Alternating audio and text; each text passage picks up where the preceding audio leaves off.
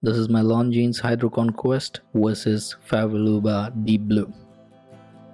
I own both of these and they are pretty good watches. Both are at the same price range.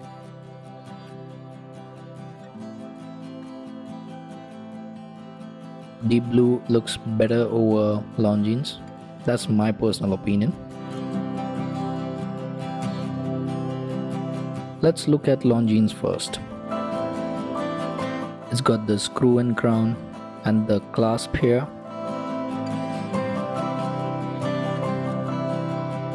The clasp is uh, I'll, I'll show you my experience. When I bought this watch this part was very sharp. It was so sharp that it could cut my wrist or scratch my skin badly. So I had to visit this Swatch Group service center and and get it smooth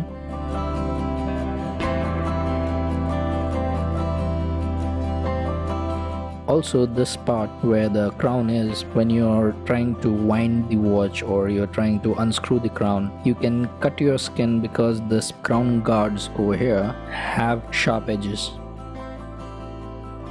And the sharp edges at this part. So both these parts i had to smoothen it. I had written down to longines regarding this in my email. They will hopefully look into it. What i like about Favre Leuba is strap which has a buckle pin and not the clasp. Because once you buy the clasp you have to cut the strap and you're done. You cannot adjust it. You can just do the micro adjustments.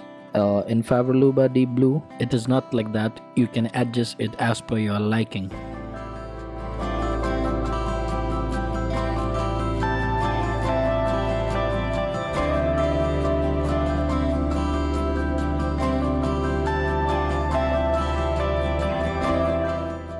both the watches are slim.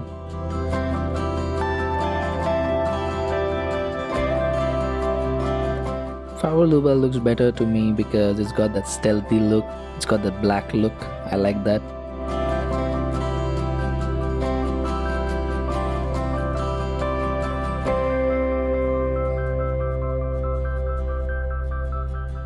Both the watches are stainless steel. Longines is 41mm and Favre Leuba is 44 movements in both watches are pretty good. They're solid movements and power reserve is kind of different in both the watches. Power reserve is a little better in longines it's got that ceramic bezel. On Favre Leuba you have this tetra decagon bezel with the uh, aluminium insert which you see the black and golden yellow you can say.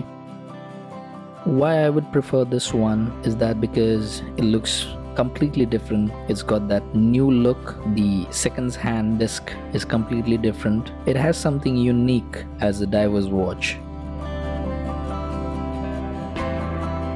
It just looks good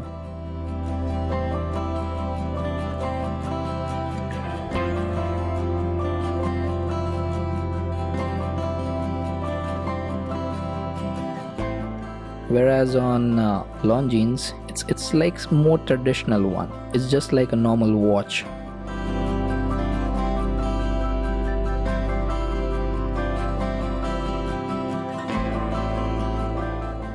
Clasp is the problem because once you cut the bracelet I mean the rubber strap on Longines Hydro Conquest, you cannot adjust it as I said before. That's the only part I don't like about Longines and uh, as I told you about the sharp edges on the clasp and the crown guards that's the only problem I had. And as per after sales service I found that the Favre Leuba's after sales service is better than Longines.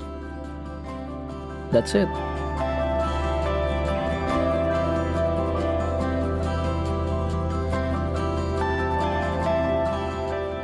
here it is these divers watches have very good lume the luminescence on both the watches are pretty bright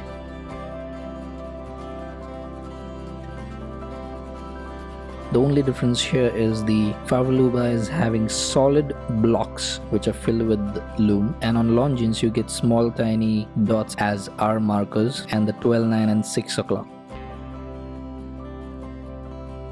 The lume on Favre Leuba is better than the Longines one. And that's it. I've tried covering all the parts which uh, I personally like and I personally dislike. I like both of them. The comparison which I'm doing here is my personal opinion you can have a different opinion and and based on that you can buy any of those or you can buy both like I did.